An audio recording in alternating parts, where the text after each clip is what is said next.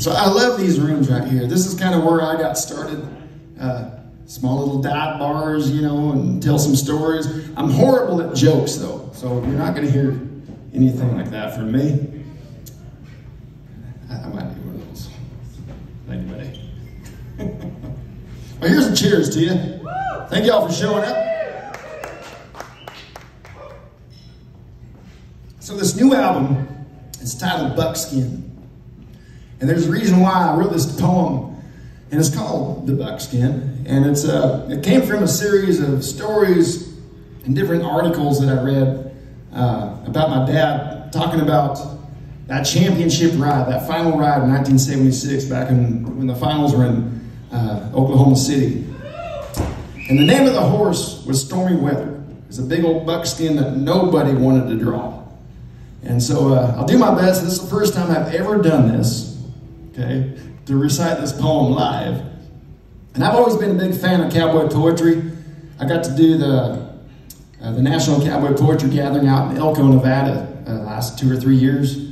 And uh, so I've just been a big fan of it. And so this is just kind of my try at a little bit of cowboy poetry. So it's called The Buckskin.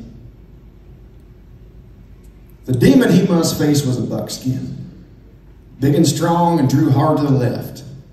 Nobody wanted him, but it was his turn. He had nerves of steel, was scared to death. A chute fighting dragon, no room for wings, towers big above them all. Known for breaking hearts and busting collarbones, throwing the best, he relished their fall. When his name was called out, he turned white as a sheet, pulls his hand in his rigging as far as it'll go. It's the ride of his life. Live or die or get crippled. He's come too far now to just get thrown. Well, timing is key, preparation routine. Don't peak, adrenaline control. Rides from the past haunt his mind. And then there's silence as the bell finally tolls. Well, out of the chute with a mighty jump, he's heavy, like to tear off his arm. Takes a hard turn like a big freight train, doing his best to ride out the storm.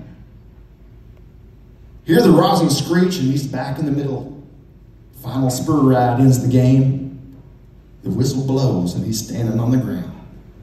The legend is born to the name.